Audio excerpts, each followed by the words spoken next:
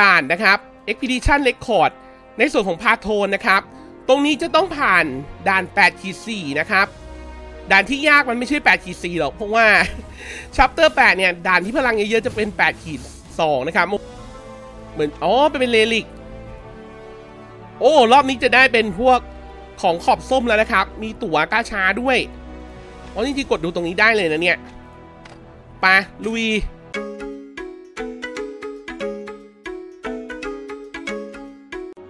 สวัสดีครับ ยินดีต้อนรับเข้าสู่ Channel e x i l a Gamer TV นะครับ อยู่กันกับเกมมือถือ Higher of Light อีกคลิปนะครับ เกมแนว Idle RPG ที่กำลังจะเปิดในสโตร์ไทยเร็วๆนี้นะครับ ก็สำหรับคลิปนี้นะครับ เป็นวันที่ 5 แล้วนะสำหรับสายฟรีนะครับ มาดูว่ามันจะไปได้ถึงไหนนะ ก็วันที่ 5 นะครับ จะได้พวกอุปกรณ์ระดับ Epic นะครับ น่าจะเป็นเซตของจอมเวทนะ มีคาถานะครับคาถาเวท เสื้อเวทนะครับ แล้วก็ กางเกงนะครับ แล้วก็เครื่องประดับนะครับอ่าตรงนี้รับไปเรียบร้อยแล้วนะครับ โอเค มาดู mailbox ดีกว่า ตอนนี้มีอะไรบ้าง Your Event Reward อ๋อ ได้เศษ ตัวระดับ Rare มาอีก 3 เศษนะ ก็ไม่เป็นไร เกมนี้ตัวระดับ Rare มันมีประโยชน์นะครับ เพราะว่าเอาไปรวมแล้วเดี๋ยวมาให้ตัวระดับ Epic กินอีกทีหนึ่งนะครับอโอเค เปิดไปแล้ว ส่ง ของให้เพื่อนก่อนนะ แล้วก็รับของนะครับ มีคนขอ add เข้ามาด้วยเหรอ โอ้ ต้องเคลียร์ที่ให้เขาที่หนึ่งอะ่ะ คือเพื่อนเราเต็ม เดี๋ยวลองดูว่ามีใครที่ไม่ได้เล่นบ้าง คนนี้น่าจะไม่ได้เล่นแล้วล่ะห้าขีดกว่าเนี่ย นะ เพราะว่าถ้าเล่นมาถึงตรงนี้นี่ อย่างน้อยก็น่าจะต้องเก่งกว่าผมอะเพราะว่าวันเล่นผมช้ากว่าคนอื่นไปวันหนึ่งนะครับ เกมเนี่ยมันหกวันแล้ว โอเค อ้าวเพื่อนเต็ม โอ้ไม่เป็นไร งั้นเดี๋ยวไปหาเอาข้างหน้า เอาแบบพวกที่ไปถึงชัปเตอร์แปดละกัน อะคนนี้หรือแม้ก็คนเนี้ยสองคนนะครับสำหรับคลิปนี้นะครับ เดี๋ยวเราจะไปลุยด่านนะครับ Expedition Record ในส่วนของพาโทนนะครับ ตรงนี้จะต้องผ่านด่าน8ขีด4นะครับ ด่านที่ยากมันไม่ใช่8ขีด4หรอก เพราะว่า Chapter 8เนี่ย ด่านที่พลังเยอะๆจะเป็น8ขีด 2นะครับเมื่อวานนี้ที่เป็นตัวปืนตัวนั้นจะโหดนะครับ คือตัวแถวหน้าเราต้องรับ damage ได้เยอะพอสมควรนะครับไอ้ตรงนี้เก็บของก่อนอะมีอุปกรณ์ Epic หลุดมาด้วย เป็น Knight Plate Armor แล้วก็ Sharpshooter Longbow นะครับ มีขอบด้วย เป็นแบบ plus อะ Sharpshooter Longbow Epic plus นะครับ อย่างที่บอกมาได้เล่นสายธนู ได้มาก็เท่านั้นเนี่ยอะ ตรงนี้มันจะมีแพ็ค ขายอยู่เรื่อย ๆ ด้วยนะครับ ที่แบบว่าเติมเงินแล้วได้ได้เพชรนะแล้วเลือกได้นะครับว่าจะเอาเป็นกล่องเอาเป็น EXP หรือเอาเป็นอะไรแบบเนี้ยราคา 170 กว่า เดี๋ยวตอนเซิร์ฟไทยเปิดก็น่าจะเติมได้นะ อันนี้มันเป็น store นอกนะครับ น่าจะเติมไม่ได้ แล้วก็ยังไม่ได้เติมอยู่แล้วด้วยนะครับธนูมาใส่ตัวนี้แล้วกันเบลาดอนน่าแล้วก็เมื่อกี้ มีเกราะดรอปมา โอเค น่าจะ น่าจะเรียบร้อย ตรงนี้มีตัวที่รวมได้ด้วยเหรอ อ่านี่ไง ขึ้นเป็นขอบนะครับ พอขึ้นเป็นขอบแล้วเนี่ย เอาตัวขอบสีฟ้านะครับสามตัวรวมกัน แบบเดียวกันหรือคนละแบบก็ได้นะ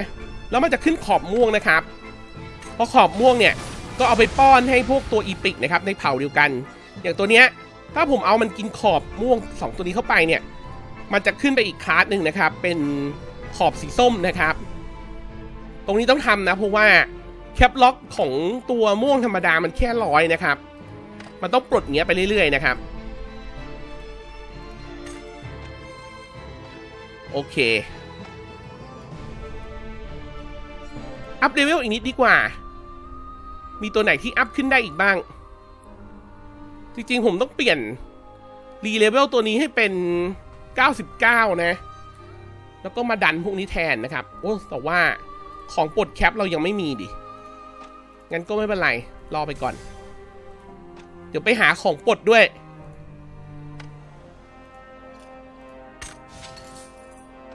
ตรงนี้ Training Ground น่าจะ up เพิ่มได้นะครับ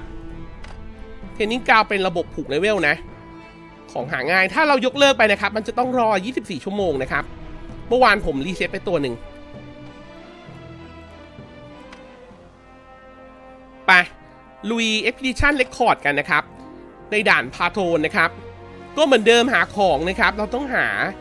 หีบธรรมดา 12 อันนะ หีบพรีเมียม 4 อัน แล้วก็หีบ final นะครับ เหมือน อ๋อ เป็น Relic โอ้ รอบนี้จะได้เป็นพวก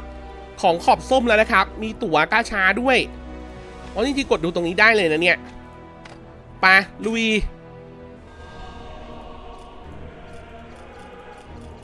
เนื้อเรื่องนิดหน่อย ไม่มี skip ต้องกดต้องกดรัวๆไป รอบนี้เราจะเป็นตัวนี้ใช่ไหมมาถึงนี่เจอโหยังโหดเลย เดี๋ยว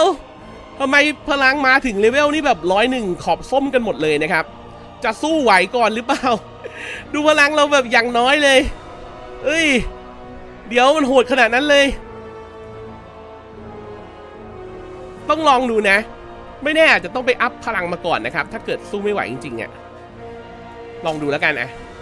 ผมว่ามันต้องยากมากแน่ๆ ขอบส้มหมดอะ่ะ คิดว่าจะแบบหมูตู้ ไม่หมู อย่างนี้ต้องเลือกบัฟดีๆนะถึงจะผ่านไปได้นะครับเอ้ยยังพอได้อยู่พอได้อยู่ ยังดีที่มันเป็นมอนธรรมดาไม่ใช่พวกแบบ ตัวละครระดับอีปิกนะ ถึงขอบส้มก็แค่เลเวลใช่ไหม skill ไม่ดี ชนะมาหนึ่งนะครับ เอา buff อะไรดี อันนี้ถ้าตี mon ตีศัตรูตายได้ Energy gauge ulti นั่นเองนะครับ อันนี้เพิ่มความแม่นยำกับ critical อันนี้ Attack กับ DEF บวกหนึ่งสูงสุดได้ 10%สำหรับตัวละครที่เป็น Epic Unique Magic Purification เอาอันติเร็วก่อนดีกว่า เราต้องการบัฟแล้วก็ฮิลก่อน โอเค ต้องไปทางไหนแล้วเนี่ย ต้องสำรวจไปเรื่อยๆ อะ ตรงนี้มีกอบลินทางนี้ล่ะ ทางนี้มีหีบ เอาหีบก่อน ได้เกาะขอบฟ้านะครับ เกาะฟ้าขอบดิเออ แล้วก็หินอัปเกรด มาร้อยหกแล้วทีนี้พลังมันเยอะขึ้นแต่ไม่เป็นไรเราได้บัฟมานิดหน่อย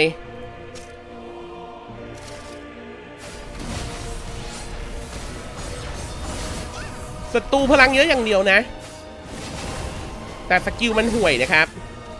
ไม่มีอะไรมาก เป็นตัวระดับ ระดับแรระดับ ระดับฟ้าหรือหรือระดับเขียวเองมั้ง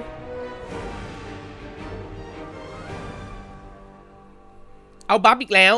นี่ไงเด็บเด็บบวกสิบนะครับ แล้วก็ไลท์สตีลขโมยเลือดได้ เอาหีบ ข้างบนไม่มีทางไปนะ ข้างหน้ามีกอบลินอีกตัวนะครับ บวกเลย เลเวลร้อยสิบสี่ทำไมโหด แล้วตัวนี้ล่ะ ตัวนี้ร้อยแปดสู้ร้อยแปดก่อนดีกว่า พลังแสนห้านะ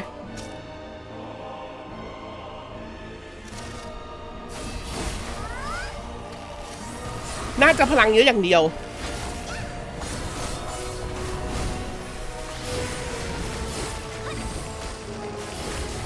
อะกังโลเรียบร้อยคิวเราก็มี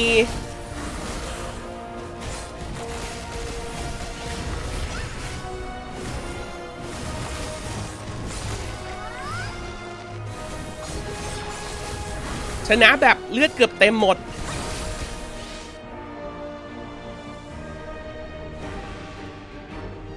เลือกบัฟก่อน Critical Damage เด็บสำหรับเผ่า Purification เอ้ย Purify Servant เอาเด็บมาก่อนดีกว่า ตรงนี้มีผลึกอะไรม่วงๆเนี่ย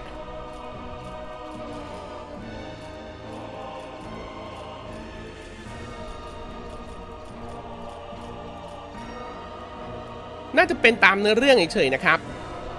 เอาหีบอะแคปล็อกเรามาแล้ว แคปล็อกเรามาไม่รู้จะอัพได้หรถนี้หรือเปล่า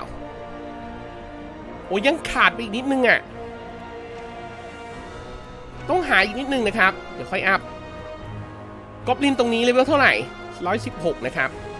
ข้างบนล่ะ ข้างบนร้อยสิบสี่ตีร้อยตีข้างบนก่อนนะ เลือกตัวที่เวลน้อย มีเห็ดด้วย ไอตัวนี้ตีแรง ไอเห็ดนี่ตีบัฟได้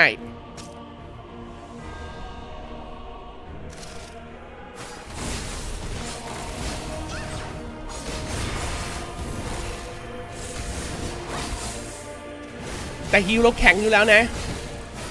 แข็งเราก็พอยันได้นะครับ ขอแค่ยันได้สักแป๊บหนึ่งเนี่ย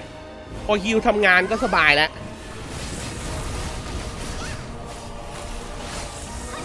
โอ้โหปาขวดน้ำยาด้วยเดี๋ยวนี้มี skill ใหม่ปาแล้ว heal พื้นที่นะ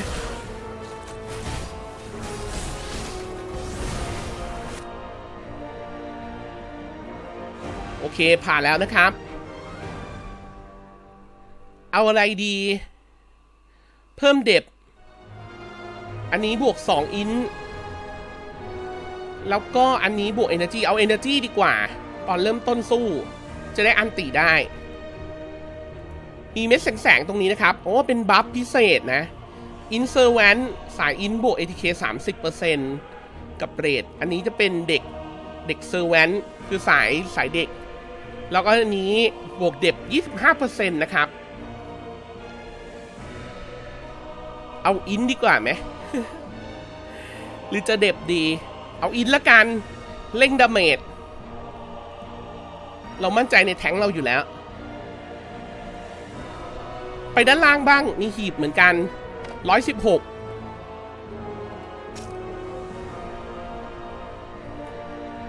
เราได้ buff พลังขึ้นมาแล้วนะครับ ไม่ต้องกลัวสู้ได้แล้วกลัวตอนแรกเพราะว่าไม่มี buff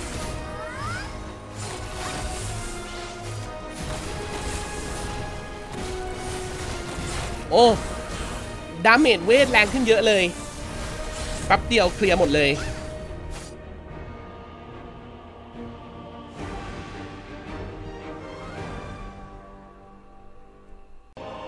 รอบนี้มีบัฟบวกอินบวกค่าหลบหลีกนะครับ แล้วก็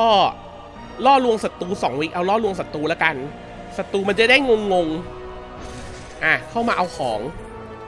อะข้างในนี้มีทางไปเอาของต่อด้วย โอ้ยร้อยยี่สิบ ยังดู เราไปข้างบนบ้าง แล้วตรงนี้ล่ะ ตรงนี้ร้อยสิบสี่นะ เดินมาดูก่อนสำรวจให้ทั่วนะครับ หามอนเลเวลน้อยๆร้อยสิบสองนี่ไง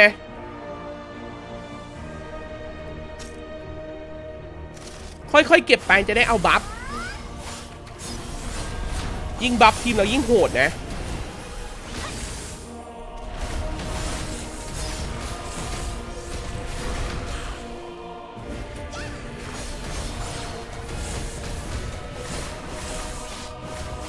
จริง ๆ อยากเอาตัวเวทอีกตัวมาเล่นเหมือนกันนะเนี่ย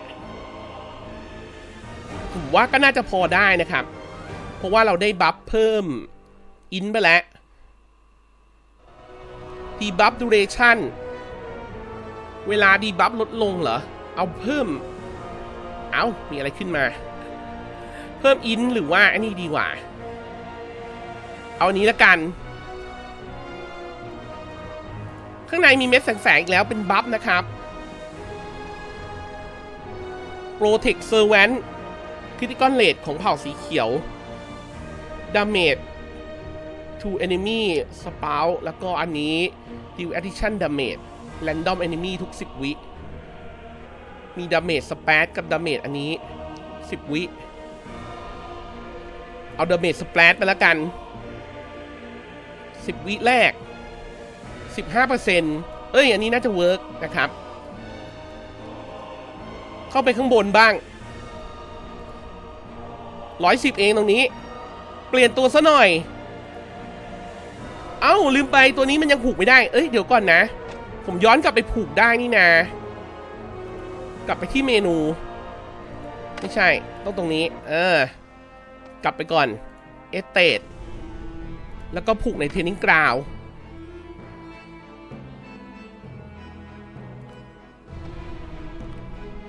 ขอเช็คแป๊บนะครับ จริงๆ เราอยากอัพเลเวลให้ตัวนี้แทนนะ เพราะว่าตัวนี้เนี่ยครับ มันต้องหาตัวซ้ำมาอัพขอบขึ้นไปก่อนมันถึงจะปลดล็อกเลเวลร้อยหนึ่งได้นะ เนี่ยมันเต็มนะครับ ต้องโปรโมทมันก่อน เพราะฉะนั้นเราต้องไปรีก่อนรีก็มาที่ตรงนี้อะ discharge ตัวนี้ไป เอาเดี๋ยวถอดของก่อนรีมูฟของไปแป๊บขี้เกียจมาตามหา โอเค discharge ไปเราก็เสียบเพชร20 นะครับ แล้วก็ได้เงิน EXP แล้วก็ใบอัพ cap level นะครับ รีไปโลด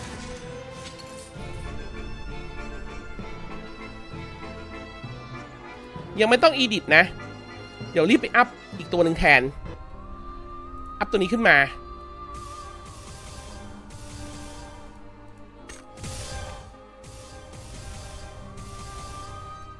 กดไป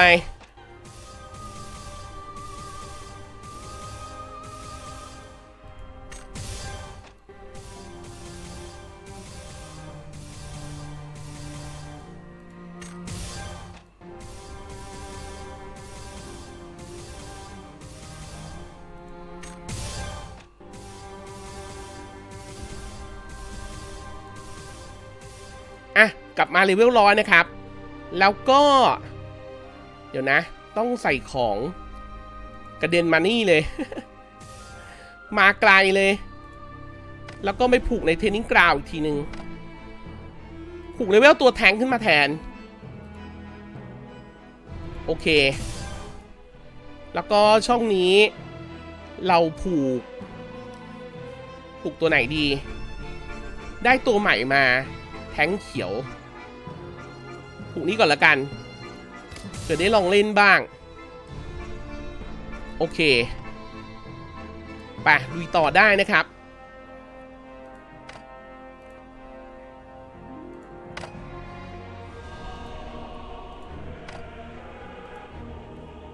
เอาตัวเวทเมื่อกี้มาลองลงบ้าง อะ กลายเป็น buff สามสอง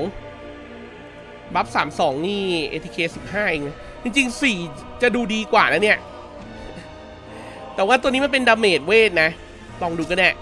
เผื่อจะไวขึ้นนะครับ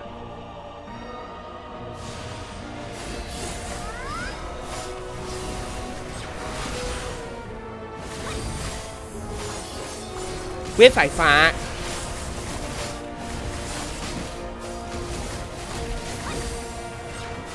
โอ้ไว ไวขึ้นเยอะ แต่ว่าเลือดลดนะ โอเคตรงนี้โดมิเตอร์ life steal ได้ แล้วก็อันนี้ damage เอ้า damage 25%ดีกว่า จะได้จบไวๆ อะ ได้คาถาม่วงของ Purify ด้วยนะ Purifier นะครับ ใส่ลุยแล้วมากไอ้ร้อยสิบห้าเนี่ย โอ้ยพลังเราเยอะกว่าแล้ว ขนาดน้อยกว่ายังชนะได้ ทีนี้แหละ ลุยไปเลย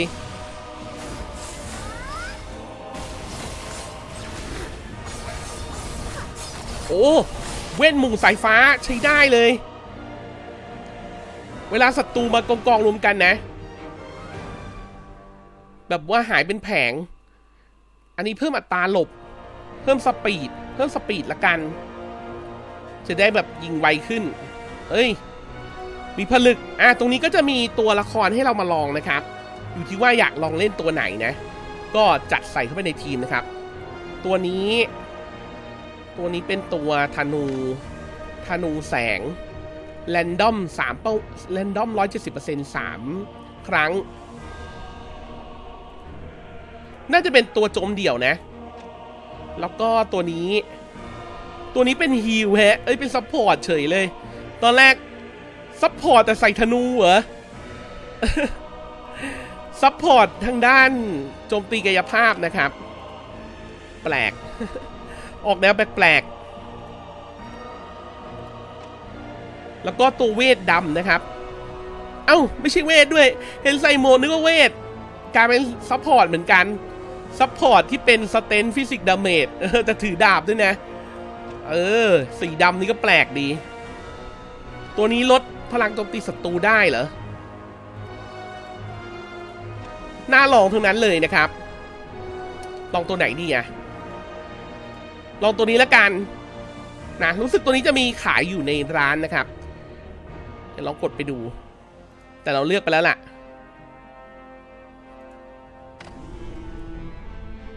ในร้านเติมเงินนะครับ รู้สึกว่า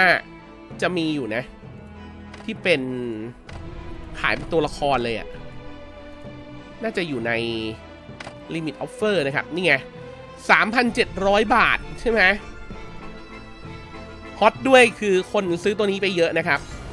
เนี่ยเออตัวเดียวกันปะวะ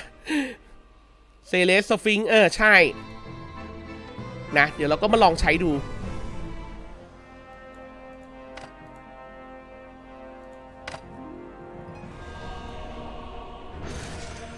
ตรงนี้ได้ตั๋วกาชามาแล้วแล้วก็ปลดล็อก cap level นะครับ อ่าปลดได้แล้วใช่ไหมปลดตัว heal ก่อนเลย อะเป็นร้อยหนึ่งนะครับ ข้ามไปอีกขั้นหนึ่งแล้ว ต่อไปเป้าหมายก็คือปลดตัวนี้กับตัวนี้เนาะตัวทองเมื่อกี้เป็นขอบม่วงมาเลยนะหนึ่งร้อยนะครับ โอเค ด้านบนเราไปมาแล้ว ทีนี้ตรงนี้ตันนะครับ ก็น่าจะมาสู้ตัวนี้แล้วล่ะ ลองเลย มา ตัวนี้ก็จะได้บัฟสี่นะ เพราะว่าถ้าแสงมันแทนได้ทุกเผ่านะครับ ลุยไป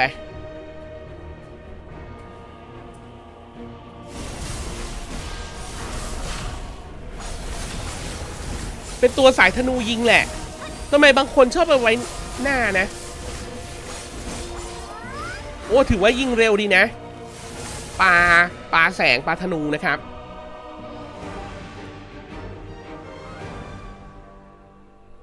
ปั๊บเอาอะไรดี อันนี้จะฮิวอัตโนมัติเมื่อเลือดน้อย ตอนเริ่มต้นฮิวเราไม่เอาแล้วล่ะ เอานี้ดีกว่า Energy จะได้อันติบ่อยๆนะครับ อะ ได้ของอีกเพียบเลย โอเคครับ ก็เดี๋ยวสำหรับคลิปนี้เราเอาไว้เท่านี้ก่อนละกันนะครับ หากใครที่ชอบนะ รบกวนช่วยกดไลค์เป็นกำลังใจให้ผมด้วยนะครับ แล้วก็สำหรับเกมนี้เนี่ยถ้าเกิดใครอยากรอเล่นนะครับ ก็เดี๋ยวลงทะเบียนล่วงหน้าไว้ก่อนนะ สโตไทยก็ จะเปิดตามมาภายหลังนะครับ ใครที่อยากโหลดสโตนอกก็ต้องใช้ APK โหลดเอานะครับ ตามลิงก์เลยเนาะ โอเค วันนี้ไปก่อนแล้วครับ สวัสดีครับ